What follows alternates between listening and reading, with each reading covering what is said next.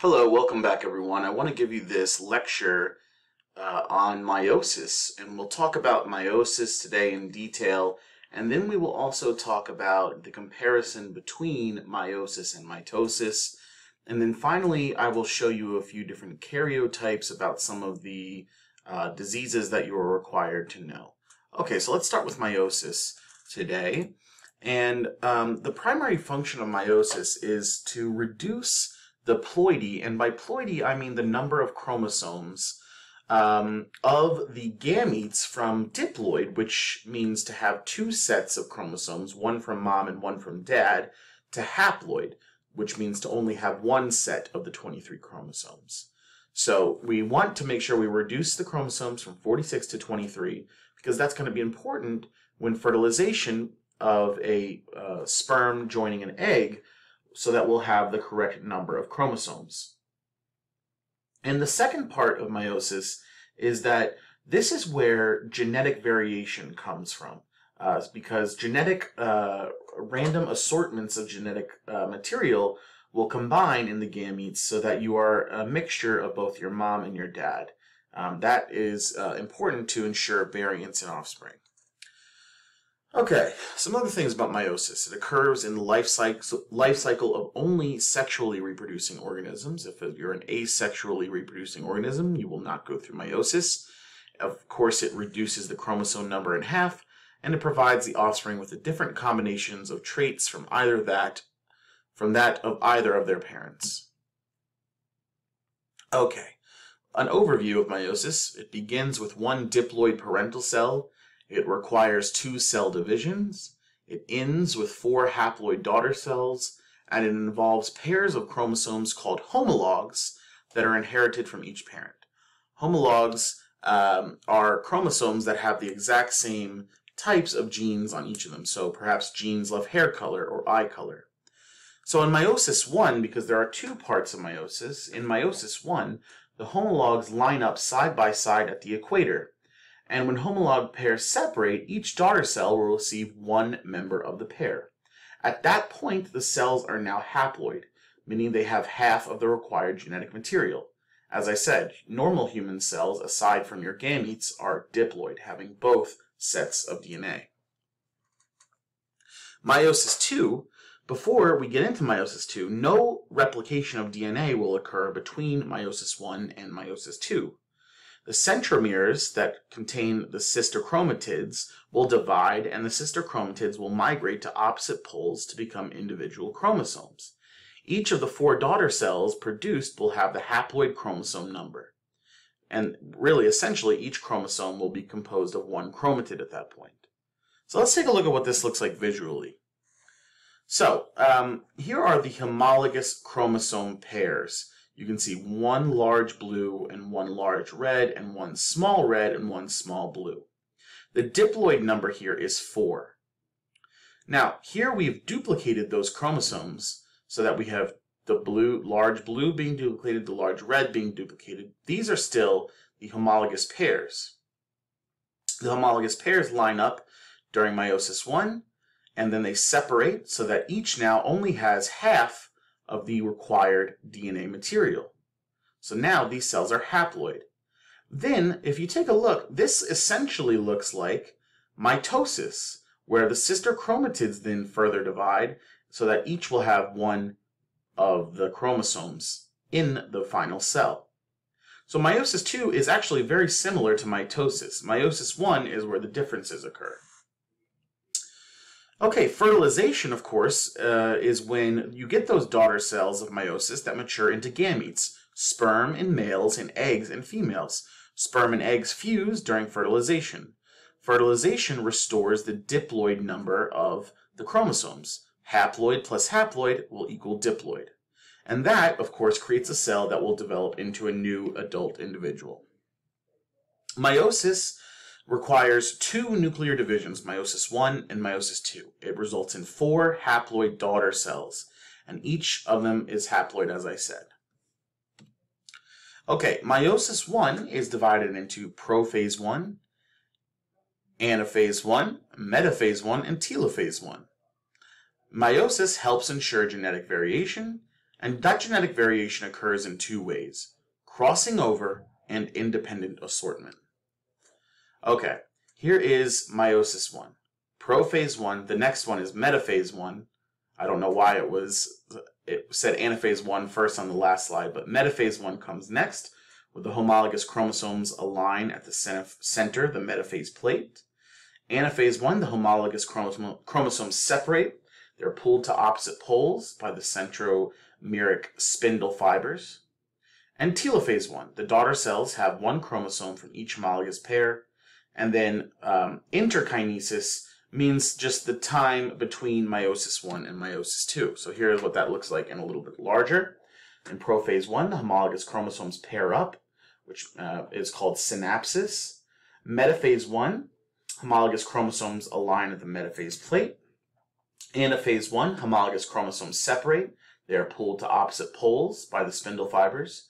Telophase 1, the daughter cells uh, have one chromosome each from each homologous pair. And then interkinesis, the chromosomes still consist of two chromatids, and it's the time between meiosis 1 and meiosis 2. Uh, here is that again. In prophase 1, synapsis occurs, and when synapsis occurs, crossing over occurs. And crossing over is what happens when a little bit of one uh, chromosome crosses over with another one. So that you can see here, synapsis occurs, crossing over between non-sister chromatids occurs. So that a little bit of the red is now on the blue, and a little bit of the blue is now on the red. What this means is that these new chromosomes are completely unique from these chromosomes because the genetic material has been exchanged. So this allows for potential genetic variation in the offspring. In metaphase 1, the homologous pairs line up at the metaphase plate. And here's what that looks like. Now, this sort of deal, independent assortment, is the other way in which genetic variation can be, be uh, added. And all that means is that chromosomes may line up in any possible combination at, at the metaphase plate. Here we saw that both of the blues lined up on the left side, and so both of the blues ended up in the left daughter cell. You could say, or right here, you could have had blue and red, and red and blue, so that the daughter cells could end up like this. Either of these possibilities could happen, and it is random chance on which it occurs. So independent assortment is just the ways in which the uh, duplicated chromosomes line up at the plate uh, during metaphase. It's random, and which uh, types of genetic material gets into which daughter cell is completely random. That adds to genetic variance. Okay, uh, this is just showing again the independent assortment happening during metaphase 1. Uh, depending on how they align, the maternal and paternal member of each pair could be oriented toward either pole. It occurs when they separate, and it just depends on what order they lined up on. Uh, independent assortment generates cells with different combinations. and humans, we have 23 pairs of chromosomes, so the number of possible combinations is actually 2 to the 23rd, or 8,388,608 different possible variations. And this value also does not include genetic recombination due to crossing over. So there, that's why you look similar to your parents, you don't look identical, and you definitely don't look identical to your neighbor. Telophase 1 may or may not occur at the end of meiosis 1, but the nuclear envelopes reform, the nucleoli reappear, and cytokinesis may occur, which produces two daughter cells which are haploid but still have duplicated chromosomes. Okay, there's what that looks like. Interkinesis is just the period of time between meiosis 1 and meiosis 2. There is no more replication of DNA. Notice that the cells are haploid, but they still have duplicated chromosomes. Okay, meiosis 2. Meiosis 2 is very similar to mitosis. The cells have one chromosome from each homologous pair, the spindle fiber reappears and the nuclear envelope disassembles again. Each duplicated chromatid attaches to the spindle fiber, the nucleolus disappears. In metaphase 2, the sister chromatids line up at the metaphase plate. During anaphase 2, the sister chromatids separate and become daughter chromosomes that migrate toward the poles. During telophase 2, the spindle fiber disappears, the nuclear envelope reforms and cytokinesis occurs. Here's what that looks like. Now, you would be forgiven if you might think that looks a lot like mitosis. And it does because this is exactly what happens during mitosis. Essentially, the sister chromatids line up at the metaphase plate. They are separated during anaphase, telophase. This all happen. This looks very similar to mitosis, but what's happening here is we're working with haploid cells. In mitosis, we're working with diploid cells.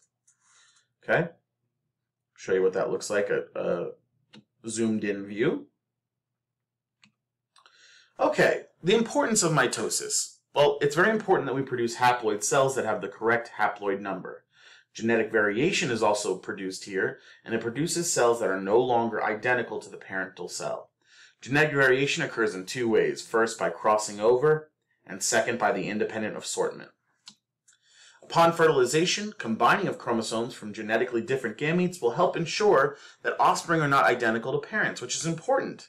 It's the main advantage of sexual reproduction, because long-term genetic variation increases the survival of the species.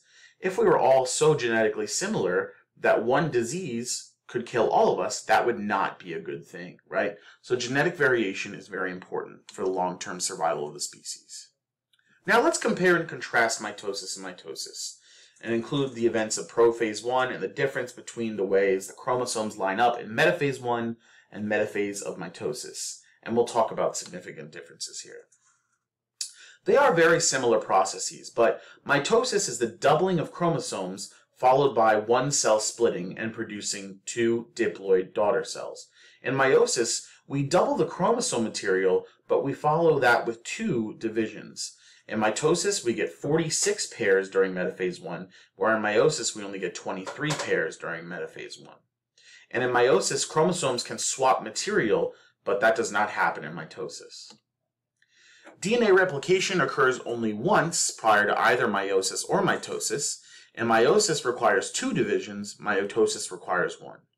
Meiosis produces four daughter cells, and meiosis, mitosis produces two. The four daughter cells from meiosis are haploid, while the two from mitosis are diploid. The daughter cells from meiosis are genetically different, while those from mitosis are genetically identical. Meiosis occurs only at certain times of the life cycle of sexually reprodu reproducing organisms, right? At sexual maturity. After you have reached sexual maturity, then you want to produce gametes. But mitosis occurs continuously in all tissues throughout the entire life of all, of all individuals. It's part of growth and also repair. That's mitosis. Here's what this looks like. So they are very similar, but you can see here that during metaphase 1, it is the homologous pairs and not the sister chromatids that are lining up. So this is meiosis 1.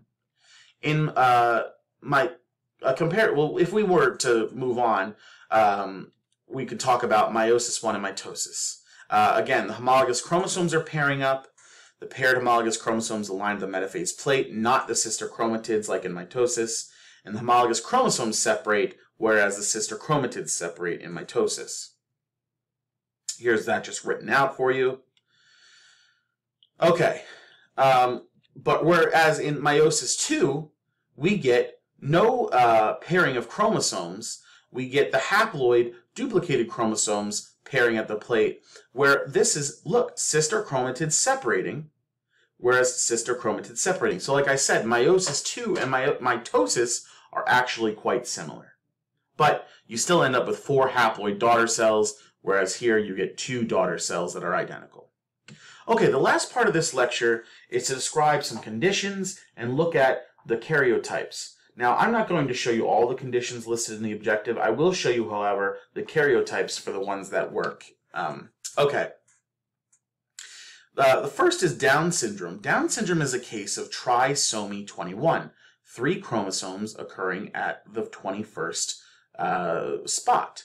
Um, a few of the common traits of Down syndrome are low muscle tone, small stature, an upward slant of the eyes, and a single deep crease across the center of the palm.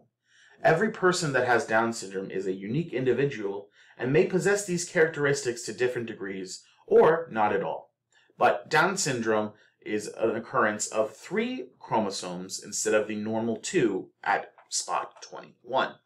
Klinefelter syndrome is trisomy 23. 23 are the sex chromosomes. So here we have an individual who has two X chromosomes and a Y. A normal female is an XX and a normal male is an XY. Here we have an XXY. And it's a condition where males have an extra X chromosome. Again, the normal male is XY, a Klinefelter male is an XXY. Some things that you'll see about Klinefelter syndrome will be less body hair, breast enlargement, and just overall typical, more uh, female-like features.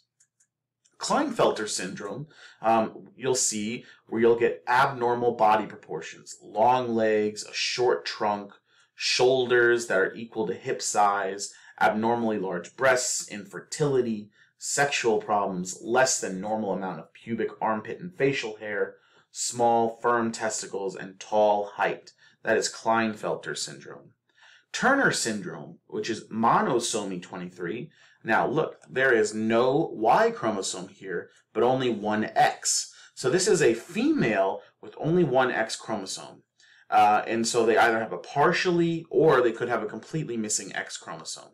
A normal female, again, would have two X chromosomes. A male would have one X chromosome, but a one Y chromosome. There is no Y chromosome here, so this is Turner syndrome. Turner syndrome, you'll see uh, a lot of different things uh, happening here. Um, Turner syndrome, you'll be you'll see shortened stature, a low posterior hairline, neck webbing, uh, something going horribly wrong with the aorta, broad chest, um, widely spaced nipples, uh, streak ovaries, infertility. Um, yeah, so these are the things to look for in Turner syndrome, where this is the thing to look for in Klinefelters. Okay, with that being said, uh, I uh, hope you enjoyed this one. Let me know if you have any questions.